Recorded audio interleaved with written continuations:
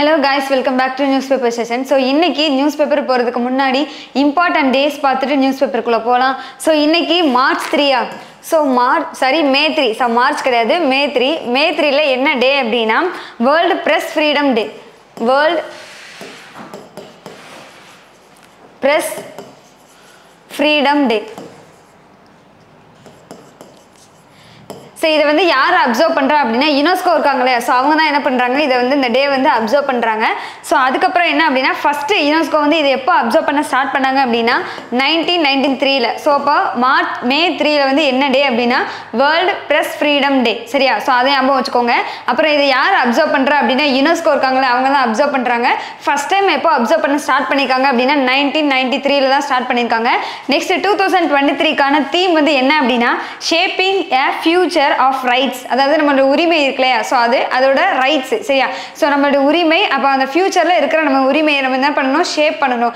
Shaping a future of rights freedom of expression as a driver for all other human rights அதான் நம்மளோட human rights மனிதனோட உரிமைகள் அதை தான் பற்றி பேசுகிறாங்க சரி தீமில் வந்து என்ன டொமைனில் இருக்குது அப்படின்னா ஹியூமன் ரைட்ஸ் பற்றி தான் கொடுத்துருக்காங்க. என்ன அப்படின்னா shaping a future of rights freedom of expression as a driver for a all other human rights சரியா? ஸோ இப்போ வந்து நம்ம நியூஸ் பேப்பருக்குள்ளே போகலாம் ஸோ இதுதான் எனது மே த்ரீயோட important days world press freedom day so news பேப்பரில் ஃபஸ்ட்டு இம்பார்ட்டன்ட் நியூஸ் என்னென்ன இருக்குன்னு பார்க்கலாம். சரி வாங்க. Government extend the date to opt for higher EPF pension to June twenty six இருக்கா ஸோ இது வந்து என்ன அப்படின்னா கவர்மெண்ட் சென்ட்ரல் கவர்மெண்ட் இருக்காங்களே. ஸோ அவங்க வந்து என்ன பண்ணியிருக்காங்க? எக்ஸ்டெண்ட் பண்ணியிருக்காங்க. எதை எக்ஸ்டெண்ட் பண்ணியிருக்காங்க அப்படின்னா டேட் எதுக்கான டேட் அப்படின்னா அந்த பென்ஷன் வாங்குறதுக்கானது ஹையர் பென்ஷன் வாங்குறதுக்கான அந்த டேட்டை வந்து எக்ஸ்டெண்ட் பண்ணியிருக்காங்க. நம்ம ஆல்ரெடி பார்த்தோம் எது வரை எக்ஸ்டெண்ட் பண்ணியிருந்தாங்கன்னா மே த்ரீ வரை எக்ஸ்டெண்ட் பண்ணியிருந்தாங்க. ஸோ இன்னைக்கு தான் மே த்ரீயா ஸோ இப்போ வந்து என்ன பண்ணியிருக்காங்க? அடிஷ்னலாக எக்ஸ்டெண்ட் கொடுத்துருக்காங்க எக்ஸ்டென்ஷன் ஸோ எது வரை கொடுத்துருக்காங்க அப்படின்னா ஜூன் டுவெண்ட்டி சிக்ஸ் வரை கொடுத்துருக்காங்க சரியா?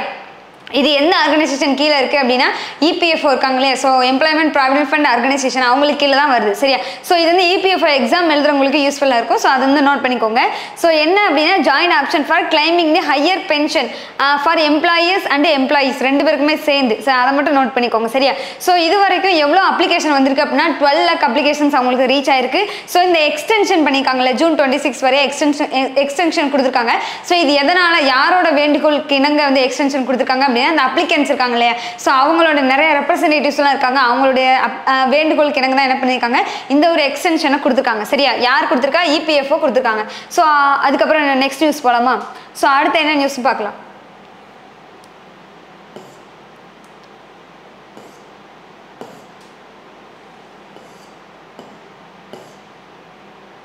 ஸோ அடுத்து டேரெக்டாக எடிட்டோரியல் தான். ஸோ எடிட்டோரியலில் என்ன நியூஸ் இருக்குது அப்படின்னா லாங் வீக்னு கொடுத்துருக்காங்களா ஸோ என்னது லாங் வீக் அப்படின்னா communal politics welfare மிசர் measures dominate the Karnataka campaign இது வந்து என்ன? அப்படின்னா கர்நாடகாவில் என்ன நடக்குது? என்ன நடக்க போகுது அப்படின்னா ஸோ கர்நாடகாவில் அசம்பிளி எலெக்ஷன் நடக்க போகுது சரியா? ஸோ அதுக்கான கேம்பெயின் அந்த என்ன பிரச்சாரங்கள் அது எல்லாமே தொடர்ந்துகிட்டே இருக்குது. ஸோ மேஜராக கர்நாடகாவில் எந்த பார்ட்டிஸ் இருக்காங்க அப்படின்னா பிஜேபி இருக்காங்க காங்கிரஸ் இருக்காங்க ஜன்தால் அப்படின்னு சொல்லுவாங்க. ஜனதா ஜனதா தால் அப்படிங்கிறவங்களாம் இருக்காங்க சரியா? இந்த மூணு பார்ட்டிஸாக மேஜராக கர்நாடகாவில் வந்து போட்டிடுறாங்க. ஸோ இதில் இதுக்கு இப்போ கரண்ட்ல ஆட்சியில் இருக்கிறது பிஜேபி கர்நாடகாவில் இப்போ ஆட்சியில் இருக்கிறது பிஜேபி ஸோ அவங்க வந்து என்ன பண்ணுறாங்க அப்படின்னா இப்போ வரப்போகிற இந்த அசம்பிளி எலெக்ஷன்லையும் ஆட்சியை பிடிக்கணும் அப்படிங்கிற ஒரு இதோ வெறியோட ஒரு நோக்கத்தோட என்ன பண்ணுறாங்க அவங்க பிரச்சாரம் பண்ணுறாங்க ஸோ நெக்ஸ்ட் வந்து என்ன அப்படின்னா இது வந்து இவங்க செகண்ட் டைமாக அதாவது பிஜேபி செகண்ட் டைமாக ஆட்சியை பிடிச்சிட்டாங்க அப்படின்னா சவுத்தன் இந்தியாவில் வந்து என்ன அவங்களுடைய இதை வந்து அவங்களுடைய இன்ஃப்ளூயன்ஸை கொண்டு வரலாம். கொண்டு வரதுக்கு இது ஒரு வாய்ப்பாக இருக்கும் அப்படிங்கிற மாதிரி சொல்கிறாங்க சரியா? நெக்ஸ்ட் அப்புறம் அந்த மேனிஃபெஸ்டோ பண்ணுவாங்களே எலெக்ஷன் மேனிஃபெஸ்டோவில் அதில் வந்து அந்த கேம்பெயினில் என்னென்னலாம் பிஜேபி நாங்கள் செய்வோம் அப்படின்னு சொல்லியிருக்காங்க அப்படின்னா three free cooking gas cylinder gas cylinder தர போகிறாங்க அப்படிங்கிற மாதிரி சொல்கிறாங்க அப்புறம் வந்து என்ன பண்ண போகிறாங்க அப்படின்னா அந்த மில்க் ஹாஃப் லிட்டர் அந்த செலக்டட் பர்டிகுலர் பீப்புளுக்கு செலக்டட் பீப்புளுக்கு மட்டும் டெய்லி டெய்லி என்ன பண்ண போகிறாங்க அப்படின்னா ஹாஃப் லிட்டர் நந்தினி மில்க் அதாவது குஜராத்தில் அமுல்னு சொல்லுவாங்கல்ல ஆனந்த் மில்க் யூனிட்னு சொல்லுவாங்க. ஸோ அதே மாதிரி கர்நாடகாவில் நந்தினி அப்படிங்கிற ஒரு மில்க் ஆப்ரேஷன் யூனிட் இருக்குது ஸோ அதுலேருந்து நாங்கள் ஹாஃப் லிட்டர் தருவோம் அப்படிங்கிற மாதிரி சொல்லியிருக்காங்க. சரியா? அதுக்கப்புறம் என்ன பண்ண போகிறாங்க அப்படின்னா நேஷனல் ரிஜிஸ்டர் ஆஃப் சிட்டிசன்ஸ் அந்த சிட்டிசன்ஸ் அப்படிங்கிற பண்ணுறதுக்கான ரிஜிஸ்ட்ரேஷன் இருக்கும்ல. ஸோ அது கொண்டு வருவோம் அப்படிங்கிறாங்க. அப்புறம் யூனிஃபார்ம் சிவில்ஸ் கோடு அதாவது யூனிஃபார்ம் சிவில் கோட்னா என்ன அப்படின்னா அந்த மாநிலத்தில் இப்படி தான் இந்த சட்டம் தான் மேரேஜ் பண்ணுறதுக்கு இந்த சட்டம் தான் அப்படின்னா அதை தான் எல்லாருமே ஃபாலோ பண்ணணும் அப்படிங்கிற மாதிரி யூனிஃபார்ம் சிவில்ஸ் கோடு அதெல்லாம் கொண்டு வருவோம் அப்படிங்கிற மாதிரி சொல்கிறாங்க சரியா? காங்கிரஸ் என்ன சொல்கிறாங்க அப்படின்னா இரநூறு யூனிட் ஆஃப் ஃப்ரீ எலக்ட்ரிசிட்டி அதெல்லாம் தருவோம். அதாவது அவங்களுடைய பிரச்சாரத்தில் தான் சொல்கிறாங்க சரியா? அப்புறம் உமனுக்கு வந்து என்ன பண்ணுறாங்க அப்படின்னா ஃப்ரீ பஸ் கொடுப்போம் அப்படிங்கிற மாதிரி சொல்கிறாங்க ஸோ அதுக்கப்புறம் என்ன சொல்கிறாங்க அப்படின்னா அந்த பிஜேபி ஆட்சியில் என்ன நடந்துச்சு அப்படின்னா முஸ்லீம் ரிசர்வேஷன் சம்திங் ஏதோ இஷ்யூவாக இருக்குது ஸோ அதை வந்து நாங்கள் காங்கிரஸ் என்ன சொல்கிறாங்க நாங்கள் வந்து என்ன பண்ணுவோம் திரும்ப வந்து கரெக்டாக கொண்டு வந்துருவோம். முஸ்லீம்க்கான அந்த ரிசர்வேஷன் கரெக்டாக கொண்டு வந்துருவோம் அப்படின்னு சொல்கிறாங்க அப்புறம் ஜனதா தால் இருக்காங்கல்ல ஸோ இவங்க வந்து அந்த கர்நாடகாலேயே இருக்கிற அந்த ஒக்காலிகஸ் கம்யூனிட்டி சேர்ந்தவங்க சரியா? ஸோ அவங்களுடைய இன்ஃப்ளூயன்ஸை இது பண்ணுறது தான் என்னது அப்படின்னா பெற்றது தான் என்னது அப்படின்னா ஜனதா தள் அப்படிங்கிற ஒரு பார்ட்டி ஸோ இவங்களுமே என்ன சொல்கிறாங்க அப்படின்னா நாங்களும் முஸ்லீம்ஸ் இருக்காங்களே அவங்களுக்கான ரிசர்வேஷன் கரெக்டாக கொடுப்போம் அப்படிங்கிற மாதிரி சொல்லியிருக்காங்க. ஸோ இது வந்து என்ன அப்படின்னா எதுக்காக இதை கொடுத்துருக்காங்க அப்படின்னா இன்னும் ஒரே ஒரு வாரம் தான் இருக்குது எப்போ வந்து அசம்பிளி எலெக்ஷன் நடக்க போகுது அப்படின்னா மே செவனோ மே டென்னில் தான் நடக்க போகுதுன்னு நினைக்கிறேன். அசம்பிளி ஆக்ஷன் எப்போ நடக்கும் மே டென்னில் தான் நடக்குது. ஸோ அதுக்கப்புறம் மே டென்னு நடந்து முடிஞ்சக்கப்புறம் ஒரு மூணு நாள் கழிச்சு என்ன பண்ணுவாங்க? ஒரே மூணு நாள் தான் சரியா? மூணே நாளில் என்ன கொடுத்துருவாங்க அப்படின்னா அவுட்புட் அதாவது அதுக்கான ரிசல்ட் வந்து ரிலீஸ் ஆயிரும் சரியா? அதுக்கப்புறம் யார் ஆட்சியில் அசம்பிளியில் பிடிச்சிக்க ஸ்டேட் அசம்பிளியில் யார் இருக்கா? அப்படின்னு நமக்கு தெரிஞ்சிடும் சரியா? ஸோ அதுக்காக தான் இந்த எடிட்டோரியல் கொடுத்துருக்காங்க. ஸோ செகண்ட் எடிட்டோரியல் என்ன அப்படின்னா எ குட் டைவோர்ஸ் அப்படின்னு கொடுத்துருக்காங்களா ஸோ இது வந்து எதை பற்றி பேசுகிறாங்க அப்படின்னா ஸோ இது வந்து article hundred and forty two one அப்படின்னு கொடுத்துருக்காங்களா so article hundred and forty two ஒன்ல என்ன சொல்கிறாங்க அப்படின்னா அதாவது இப்போ கோர்ட்டுக்கு வர ரெண்டு பேர் இருப்பாங்க. கோர்ட்டுக்கு வரணும்னா இப்போ யார் யார் யார் ரெண்டு பேருக்குள்ளேயாவது சண்டை வந்துச்சு ஏதாவது ஒரு ஃபைட் வர மாதிரி இருக்குது அப்படின்னா அவங்க கோர்ட்டுக்கு போகிறாங்க அப்படின்னா அந்த ரெண்டு பேருக்குமே அந்த சொல்யூஷன் கிடைக்கல அப்படின்னா so article hundred and forty two படி சுப்ரீம் கோர்ட்டுக்கு என்ன இருக்குன்னா ஒரு ஒரு கிராண்ட் பவர் இருக்குது சரியா? ஸோ அந்த பவர் மூலமாக அவங்க வந்து என்ன பண்ணலாம் போத் பார்ட்டிஸ் ரெண்டு பேருக்குமே சேர்ந்து அவங்க என்ன பண்ணலாம் நீதியை கொடுக்கலாம் நீதியை வழங்கலாம். ஸோ அதுக்காக அவங்களுக்கான ஒரு ஸ்பெஷல் பவர் இருக்குது யாருக்கும் சுப்ரீம் கோர்ட்டுக்கு இருக்குது சரியா? ஸோ அதுதான் என்னது? Article hundred and forty two of Indian constitution அதை நோட் பண்ணிக்கோங்க. ஸோ இது எதை பற்றி பேசியிருக்காங்க. இர் ரெட்ரேவபிள் அப்படின்னா என்னது? திரும்ப பெற முடியாத. ரெட்ரேவபிள்னா என்னது? திரும்ப பெற்றுக்கலாம். இர் ரெட்ரேவபிள்னா திரும்ப பெற முடியாத. Broke break down of marriage should be a ground for the divorce அதாவது டிவோர்ஸ்க்கான அடித்தளம் அடி அடிப்படை எது காரணமாக இருக்குது அப்படின்னா irretrievable break down of marriage அதாவது அந்த திரும்ப பெற முடியாத அந்த மேரேஜ் ரிலேஷன்ஷிப் தான் டிவோர்ஸ்க்கான ஒரு அடிப்படை காரணமாக இருக்குது அப்படின்னு சொல்கிறாங்க ஸோ இது வந்து என்ன? இதை பற்றிலாம் சொல்கிறாங்க ஸோ அதுதான். அதாவது சுப்ரீம் கோர்ட்டில் அந்த மியூச்சுவலாக வருவாங்க இல்லையா? ஸோ சுப்ரீம் கோர்ட்டில் அந்த சுப்ரீம் கோர்ட்டுக்கு ஒரு ஸ்பெஷல் பவர் இருக்குன்னு சொன்னோம். ஸோ அந்த ஸ்பெஷல் பவர் மூலமாக அவங்க என்னெல்லாம் பண்ணுறாங்க அதாவது மியூச்சுவலாக ரெண்டு போத் ஹஸ்பண்ட் அண்ட் ஒய்ஃப் ரெண்டு பேருமே சேர்ந்து வந்து வர்றாங்க. மியூச்சுவல் வந்து நாங்கள் பிரிஞ்சுக்கிறோம். மியூச்சுவலாக நாங்கள் பிரிஞ்சுக்கிறோம் அப்படின்னு சொல்லிட்டு வர்றாங்க அப்படின்னா அவங்களுக்கு வந்து என்ன பண்ணுறாங்க அப்படின்னா Hindu marriage Hindu marriage act nineteen fifty five படி அவங்கள வந்து என்ன பண்ணுறாங்க அப்படின்னா செக்ஷன் தேர்ட்டீன் பியில் ஒரு சிக்ஸ் மந்த்தோ இல்லாட்டி எயிட்டீன் மந்த்தோ என்ன பண்ணுறாங்க சிக்ஸ் டு எயிட்டீன் மந்த் வந்து நீங்கள் வந்து ட்ரை பண்ணுங்க முயற்சி பண்ணுங்க ரிலேஷன்ஷிப் மெயின்டைன் பண்ணுங்க அப்படிங்கிற மாதிரி சொல்கிறாங்க அதுக்கப்புறம் தான் என்ன பண்ணுவோம்? ஃபர்தராக கோர்ட்டில் வந்து ப்ரொசீஜர்ஸ்லாம் நடக்கும் அப்படின்னு சொல்கிறாங்க ஸோ இது எதுக்காக சொல்கிறாங்க அப்படின்னா ஃபர்தராக அவங்களுக்குள்ள ஒரு ரிலேஷன்ஷிப் மெயின்டைன் ஆயிடாதா அப்படிங்கிறதுக்காக தான் அதை காப்பாற்றுறதுக்காக தான் அந்த மாதிரிலாம் பண்ணுறாங்க அப்படிங்கிற மாதிரி சொல்கிறாங்க சரியா? ஸோ அதுக்கப்புறம் என்ன அப்படின்னா இந்த மாதிரி irretrievable break down of marriage வந்து எதுக்கு காரணமாக இருக்குது அது நான் காலையில் அப்போதே சொன்ன மாதிரி இந்த மேலேயே சொன்னேன்ல அதே மாதிரி தான் எது காரணமாக இருக்குது டிவோர்ஸ்க்கு ஒரு காரணமாக இருக்குது அப்படிங்கிற மாதிரி சொல்கிறாங்க அதாவது அதை அவங்க அவங்க ரெண்டு பேத்துக்கும் நடுவில் உள்ள பிரச்சனை வந்து திருப்பி வந்து ரிப்பேர் பண்ண முடியாது. திரும்பி வந்து சரி பண்ணிட முடியாத பிரச்சனை. ஸோ ரெண்டு பேருக்கும் ஒரு இழப்பு நடந்திருக்கு அப்படின்னா சரி பண்ண முடியாத இழப்பு இருக்குது அப்படின்னா நாங்கள் பிரிஞ்சுக்கிறோம் அப்படின்னு இருந்தாங்க அப்படின்னா ஸோ அதுக்கு கண்டிப்பாக டிவோர்ஸ் கொடுக்கறது நல்லதுதான் அப்படிங்கிற மாதிரி சொல்கிறாங்க சரியா? ஸோ ஃபர்ஸ்ட் லைன்லேயும் கொடுத்துருப்பாங்க.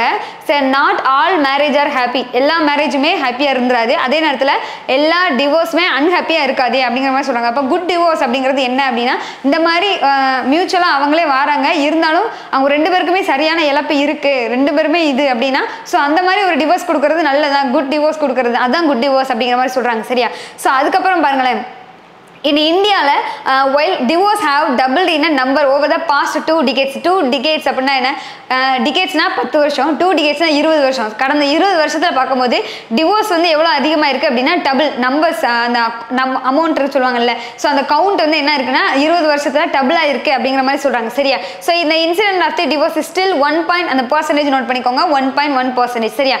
ஸோ அப்புறம் வந்து என்ன சொல்கிறாங்க ஆஃப்டர் ஆல் எல்லா எல்லா எல்லாத்தையும் அடுத்து எல்லாத்தையும் கடந்து என்ன சொல்லணும் அப்படின்னா marriage equality is not a reality for all அப்படிங்கிற மாதிரி சொல்கிறாங்க சரி marriage equality is not reality எல்லாருக்குமே அது ரியாலிட்டியாக இருக்காது எதிர்பார்க்குற மாதிரி இருக்காது அப்படிங்கிற மாதிரி சொல்கிறாங்க சரியா? ஸோ இது வந்து என்னன்னு உங்களுக்கே இப்போ புரிஞ்சிருக்கும். அந்த டிவோர்ஸ் கேஸ் தான். ஸோ அது வந்து அவங்க ரெண்டு பேத்துக்கும் நடுவில் வந்து ரொம்ப பிரேக் டவுனாக இருக்குது அதே மாதிரி இழப்பு ந- நிறைய இருக்குது அது வந்து சரி பண்ண முடியாது அப்படிங்கிற சுச்சுவேஷனில் ரெண்டு பேருக்கும் அந்த டிவோர்ஸ் கொடுக்கறது வந்து ஒரு நல்லது தான். அதான் குட் டிவோர்ஸ் அப்படின்னு சொல்கிறாங்க ஸோ இதுக்கு வந்து சுப்ரீம் கோர்ட்டுக்கு ஸ்பெஷல் ஒரு பவர் இருக்குது அதான் என்னது? ஆர்டிக்கல் ஹண்ட்ரட் அண்ட் ஃபார்ட்டி டூவில் அது அது அதை நோட் பண்ணிக்கோங்க. Article hundred and forty two of Indian constitution அதை நோட் பண்ணிக்கோங்க.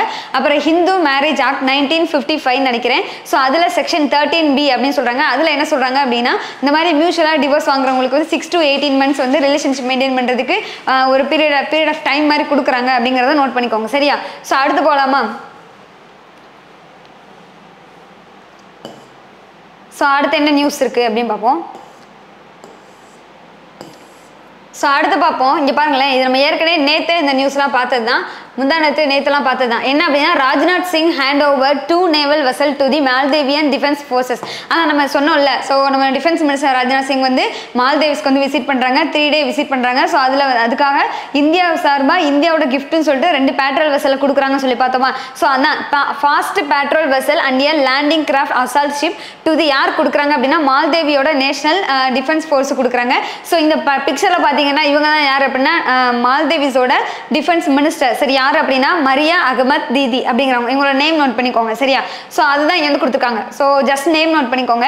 நெக்ஸ்ட் போகலாம் ஸோ நெக்ஸ்ட் என்ன இருக்கு? China Russia Pakistan ministers to attend the SCO meeting in Goa அதாவது கோவாவில் வந்து என்ன பண்ணுறாங்க சாங்காய் கோஆப்ரேஷன் ஆர்கனைசேஷனுக்கான ஃபாரின் மினிஸ்டர் மீட்டிங் நடக்குது. ஸோ அதில் யார் யாரெல்லாம் அட்டன் பண்ணுறா அப்படின்னா சைனாவோட ஃபாரின் மினிஸ்டர் ரஷ்யாவோட ஃபாரின் மினிஸ்டர் அண்ட் பாகிஸ்தானோட நம்ம ஏற்கனவே பார்த்தத நியூஸில் பார்த்துருக்கோம். பாகிஸ்தானோட ஃபாரின் மினிஸ்டர் இவங்க எல்லாமே என்ன பண்ணுறாங்க அப்படின்னா எஸ் அந்த ஜி டுவெண்ட்டியோட ஃபாரின் மினிஸ்டர் மீட்டிங்கை தொடர்ந்து இப்போ என்ன மீட்டிங் வருது அப்படின்னா எஸ்சிஓட ஃபாரின் மினிஸ்டர் மீட்டிங் வருது. அது எங்கே நடக்குது அப்படின்னா கோவாவில் நடக்குது. ஸோ அதுக்கு அட்டன் பண்ண வர்றாங்க. ஸோ எப்போ நடக்க போகுது அப்படின்னா தேர்ஸ்டே டு ஃப்ரைடே சரியா? இப்போ வர்ற தேர்ஸ்டே அண்ட் ஃப்ரைடே தான் நடக்க போகுது. ஸோ எக்ஸ்டர்னல் அஃபேர்ஸ் மினிஸ்டர் நம்மளோட ஃபாரின் மினிஸ்டரும் ஆல்சோ அவங்க சேர்பர்சனாக இருப்பாங்க அந்த மீட்டிங்க்கு சரியா? ஸோ அதெல்லாம் நடக்க போகுதுன்னு சொல்கிறாங்க ஸோ அதே தொடர்ந்து ஜூலையில் வந்து என்ன நடக்க போகுது? ஜூலை த்ரீ டு ஃபோரில் எஸ்சிஓ சமிட் நடக்க போகுது. அதாவது சாங்காய் கோஆபரேஷன் ஆர்கனைசேஷனுக்கான சமிட் நடக்க போகுது. July three to four September nine to டென்னில் என்ன நடக்க போகுது அப்படின்னா ஜி டுவெண்ட்டிக்கான சமிட் நடக்க போது நம்ம இந்தியாவில் தான். சரியா? So both and SCO and CEO sorry G twenty SCO and G twenty ரெண்டுக்குமே யார் பிரசிடென்ட் அப்படின்னா இந்தியா தான் பிரசிடென்சி எடுத்திருக்காங்க. ஸோ அதை நோட் பண்ணிக்கோங்க சரியா? ஸோ அடுத்து போகலாமா ஸோ அடுத்து என்ன நியூஸ் சொல்லி பார்க்கலாம். ஸோ அடுத்து பாருங்களேன். ஸோ இது வந்து gaming policy tax norms need more calibration finance minister so இது வந்து என்ன? கேலிபரேஷன் அப்படின்னா என்ன அப்படின்னா ரிலேஷன்ஷிப் மெயின்டைன் பண்ணுறது தான். சரியா? ஸோ எதில் அப்படின்னா கேமிங் இருக்குல்ல கேமிங் செக்டர் கேம்லிங் சொல்லுவாங்க.